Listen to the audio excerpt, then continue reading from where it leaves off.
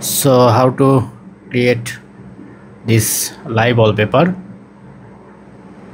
This is the viral labubu live wallpaper for iphone. For that go to your setting and make sure you are not in low power battery mode. And another thing go to accessibility.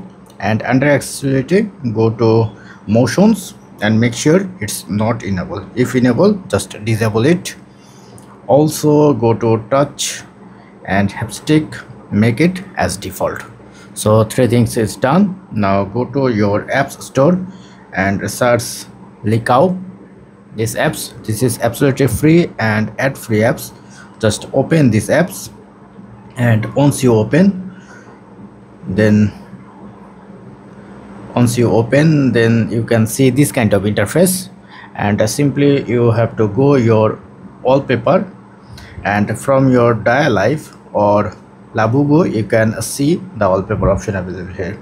There are three or four different option uh, which one you want to like. For example I want to set this option.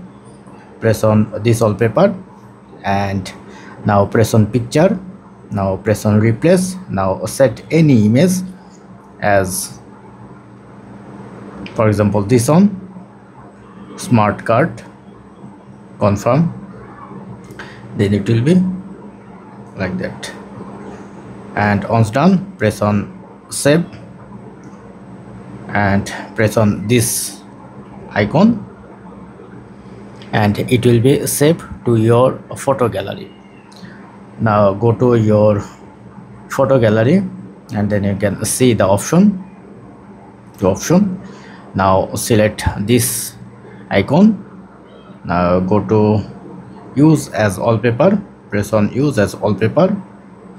Make sure this option is enabled. If it's disabled it's not working. Enable this option. Press on add.